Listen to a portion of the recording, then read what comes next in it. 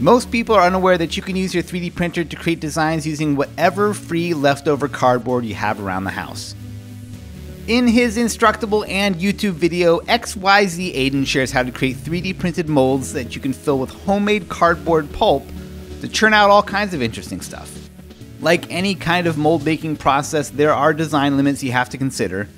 To keep the cardboard from falling apart, you'll also need to introduce a binder into the mix like PVA glue. But if you ever get a little down on the idea that 3D printers are only good for making plastic stuff, this is a great technique to explore.